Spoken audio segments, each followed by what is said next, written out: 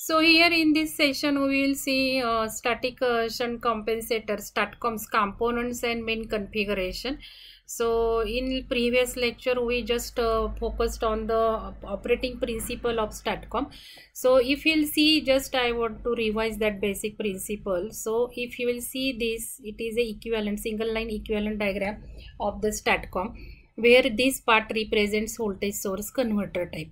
Because we have seen there are two types of static compensation shunt compensation two types. Based on the variable reactance we have seen tcr tsc and second type is based on the voltage source converter type. So statcom is a based on the voltage source converter type. So of course it has to have the converter now when converter is required then it will require input DC voltage. So DC voltage is given to the converter and this DC voltage is converted into AC voltage. So this side is AC and it is coupled because it is a shunt compensation. So it is connected across the transmission line. So this is the transmission line or power system and this is whole this resembles with the uh, statcom. So this is a statcom. So it couples, this converter is coupled to the transmission system through the transformer. So it is a magnetic coupling. So whatever is the terminal voltage, this Vs, it will be connected to the transmission line. Now in this figure, transmission line voltage is represented by ET and voltage across the source uh, converter is represented by ES. So we have seen how this STATCOM operates based upon the difference of the magnitude what is the terminal voltage of the transmission line? What is the voltage source converter voltage? So what is the magnitude? Whether es is higher than et or et is higher than es depending upon that statcom will function as a um, you can say reactive power absorptions or generation. So STATCOM will be used for generating reactive power or absorbing reactive power depending upon the magnitude difference of these two voltages but it is also used to supply or absorb real power but that will based upon the phase difference between ET and ES. In that case magnitude of this ET and ES will remain constant. So this is the principle of operation. So here I had uh, explained this. When ES this voltage across the STATCOM is higher than ET it will supply reactive power means when this voltage is higher of course this will supply reactive power. But when this voltage will be less than this it will absorb reactive power. Okay? So when voltage of this statcom will be leading than the um, transmission line voltage then it will supply real power but when voltage et will lead than es then it will absorb real power. So that principle we discussed in uh, last uh, session. Now today's uh, session is based on configuration and components. So as just now i explained in the principle of operations this is equivalent circuit diagram of statcom. Now it is having two types of converter that we'll see so here it is represented with a gate operated uh, transformer thyristors so gto based but IGBT also will be used. So two types of converters are used. So that we'll discuss. Input voltage is given with the DC capacitor. So this is the DC side and this is AC side. And I told you output voltage of this converter is coupled to the power system through the transformer. So this is a coupling, just coupling and it is magnetic coupling. So equivalent circuit diagram of this, this is single line diagram and equivalent circuit diagram will be like this. So this is acting as a variable voltage source. So this is inverter or converter output voltage which is variable because this voltage is very varied. So STATCOM is used as a variable voltage source. So it can just supply reactive power or real power and also it will just use for the voltage control also. Two modes are there that we'll see in the operation. But here we are discussing basic configuration and components. And this transformer is having leakage reactance. So that uh, reactance of transformer is represented by a react.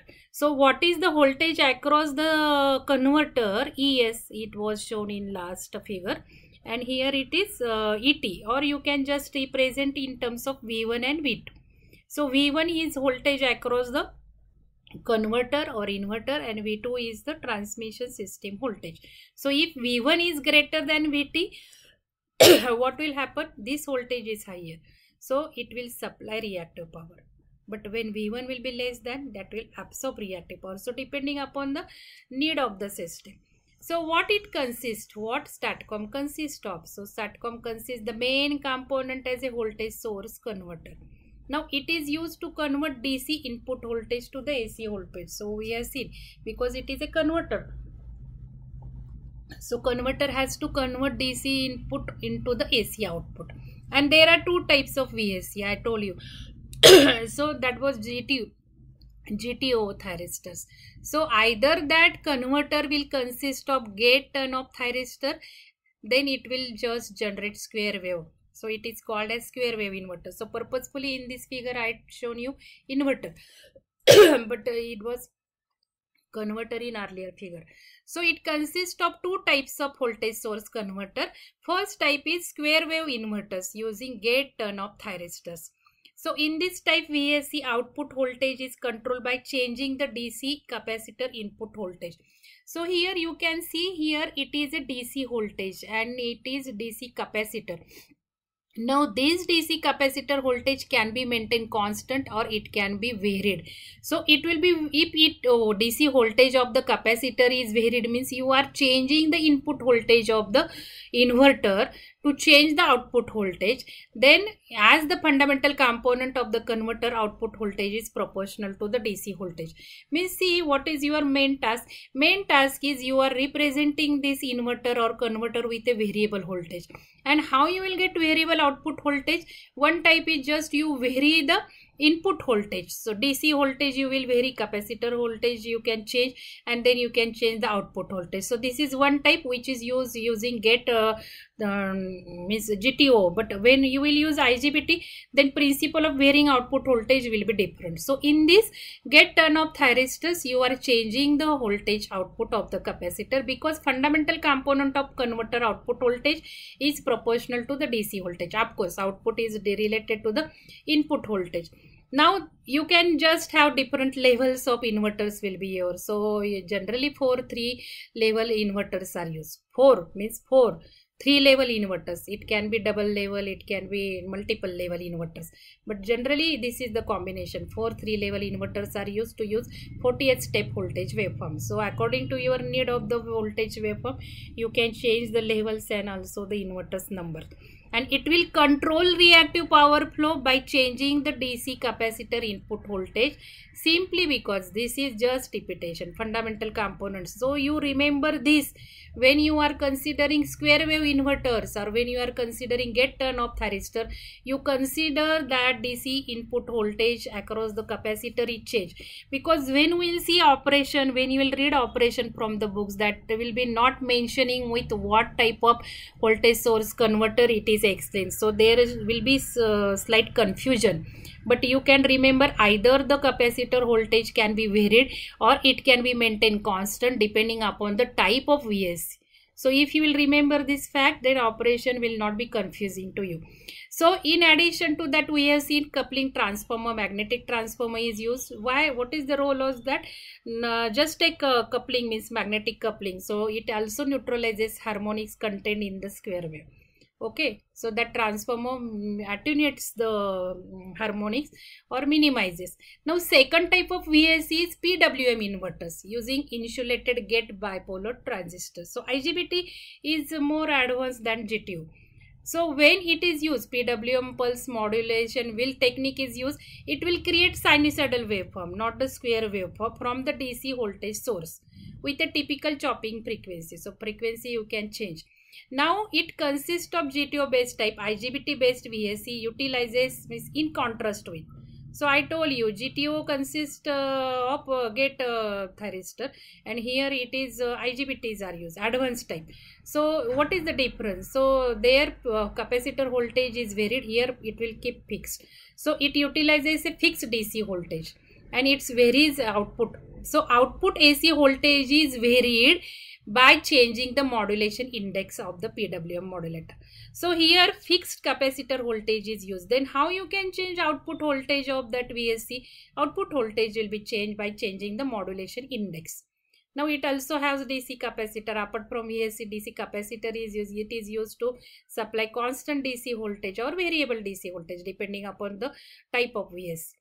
And inductive reactance means power transformer. So we can say what are the basic components of um, statcom? Vsc transformer and capacitor. And of course dc voltage will be also there. Sometimes harmonic filters are also used after the transformer or across the converter to attenuate harmonics of high frequency contents so that uh, simplified diagram we have seen. Now reactive power of statcom is produced by means of power electronic equipment. I told you either it can be used for reactive power control or it can be also used for real power control. Here also you need to understand the basic modes of operations are there so either real power uh, absorption or generation or reactive power generation and absorption. So VSC may be 2 level, 3 level or any level and number of VSC are combined in a multiples connections to form a STATCOM. In steady state, VSC is operated with fundamental frequency switching to minimize converter losses. So there are also modes of operation steady state and in transient that we'll see in actual operating uh, modes. So in steady state, VSC operates with fundamental frequency, switching to minimize converter losses because converter losses will be there. So for you must adjust voltage uh, for the um, supplying these losses because whatever is the losses of converter that you have to adjust from the input side, DC side. Now, due to transient condition caused by line faults, a pulse width modulated modulator is used. So, whatever two types we have seen, you can consider this IGBT mode of VSC for the transient conditions. Okay. So, in this way, STATCOM is able to withstand transients without blocking.